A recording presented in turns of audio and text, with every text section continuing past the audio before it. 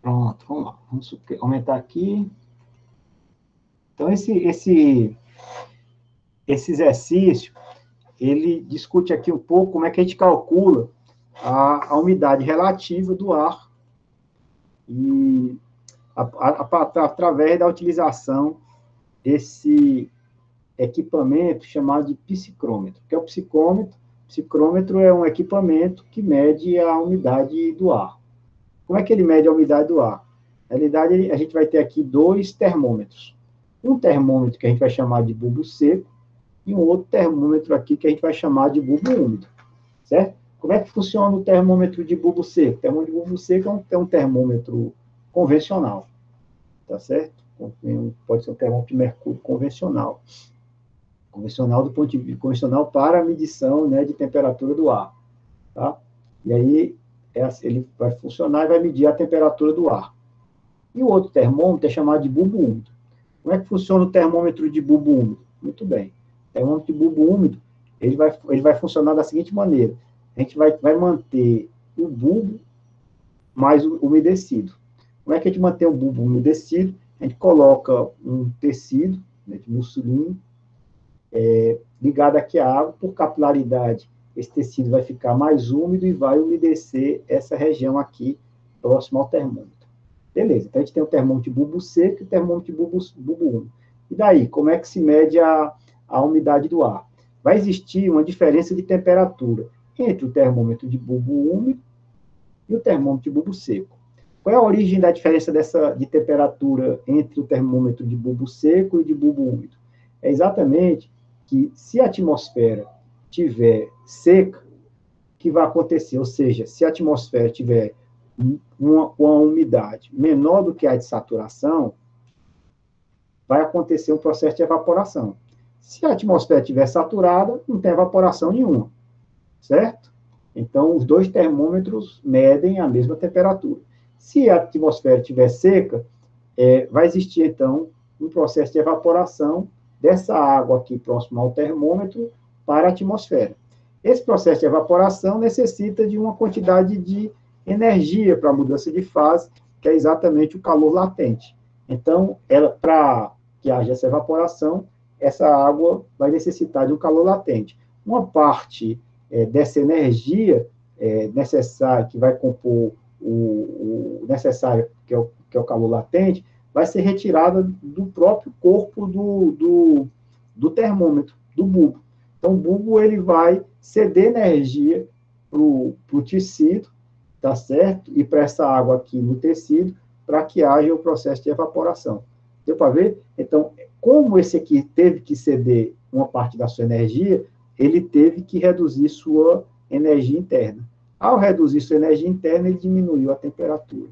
Então, com isso, quanto mais seca for a atmosfera, maior essa evaporação, mais energia o termômetro de bulbo úmido teve que ceder aqui para a água evaporar, por conta do, da, é, exatamente de, desse, desse, do, calor, do, do calor latente, e maior vai ser a diferença entre os dois termômetros. É assim, certo? Então, a diferença de temperatura entre os dois termômetros vai ser proporcional à diferença entre a umidade de saturação e a, a, a pressão parcial de vapor de saturação e a pressão de parcial de vapor atual, tá certo? Aqui está existindo no meio, na, na, temperatura convencional. Então, a gente vai ter aqui temperatura de bulbo seco, temperatura de bulbo úmido, e esse, e esse gama aqui é o que a gente chama de constante pixométrica, né, que tem uma fórmula, inclusive, para calculá-lo. Eu recomendo, para rever a dedução da, dessa fórmula, aquele livro do Applied Hydrology, do Meio do Mês, para vocês darem uma olhada e, e, na equação que, que, que, que é utilizada para o cálculo da constante pixométrica. Tá? Então, com isso, eu tenho condição de calcular qual é o valor de E. Se eu meço T no bulbo seco, meço TW no bulbo úmido, sei calcular constante pixométrica, a partir de, algum, de algumas informações que eu vou já mostrar para vocês quais são. Sei calcular qual é a minha pressão parcial de vapor de saturação, a partir da informação do termômetro de bulbo seco. Fica a única, única variável que eu não sei nessa equação seria a pressão parcial de vapor atual. Então, com isso, eu, eu obtenho esse valor. Deu para ver? Está claro? Muito bem. Então, se está claro, então vamos ao nosso problema. A gente tem aqui a temperatura do termômetro de bulbo seco, temperatura do termômetro de bulbo úmido. Então, como tem diferença, é porque não está saturado. A gente tem condição de calcular essa saturação. Temos aqui a pressão, a pressão atmosférica naquele, naquele local, que aqui são dados do problema. Tá?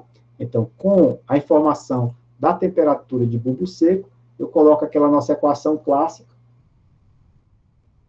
tá? de, que está descrita aqui, de cálculo é, da pressão é, da pressão parcial de vapor de saturação, e eu tenho a informação da pressão parcial de vapor de saturação.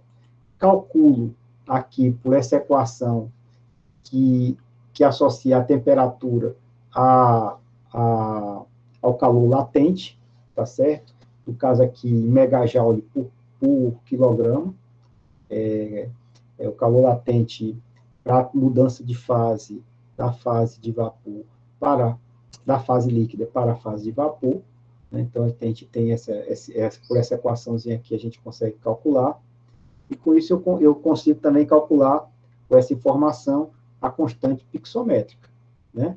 A constante pixométrica que vai associar a pressão na, no, no ambiente, a, calor latente necessário para o ambiente, no ambiente, eu sei qual vai ser o valor da constante pixométrica, sempre vai variar aqui em torno desse valor, 67, 65, 64 Pascal por grau Celsius. Então, sabendo então agora quem é a constante pixométrica, já tendo a informação do T, tendo a informação do TW, e já tendo calculado qual o valor da pressão parcial de saturação, fica fácil calcular qual é o valor de E. Né? É, então, o E vai ser a pressão parcial de vapor, vai ser igual a EW menos gama T menos TW. Aqui é a equaçãozinha, aplico de forma direta, então já tenho aqui qual é a minha pressão parcial de vapor é, no ambiente. Sabendo a pressão parcial de vapor no ambiente, fica trivial calcular qual é a umidade relativa, porque a umidade relativa a gente já sabe que é exatamente a pressão parcial de vapor do ambiente dividido pela pressão parcial de vapor de saturação. Nesse caso, a, a umidade relativa fica sendo igual a 87%, né? que vai ser E dividido por ES vezes 100, se eu quero o valor em percentual. Pronto. Simples assim. Tá bom? Alguma dúvida? É, professor, deixa eu ver se eu, se eu entendi essa questão do bulbo úmido, né? Se a temperatura entre os dois é, for igual, é, quer dizer que o ar está saturado, né? Ele não, a água que tem na gás ela não consegue mais evaporar, né? Exatamente, porque o que é a saturação? Porque sempre vai existir moléculas que se desprendem do, da superfície líquida para que vão para a forma de vapor e vão existir moléculas da forma de vapor que se transformam que vão é, é, se, se, juntar às moléculas na forma líquida. Então, esse, essa, é, existe uma, uma, uma, esse movimento é um movimento que existe, tá certo? Então, a cinética em torno disso.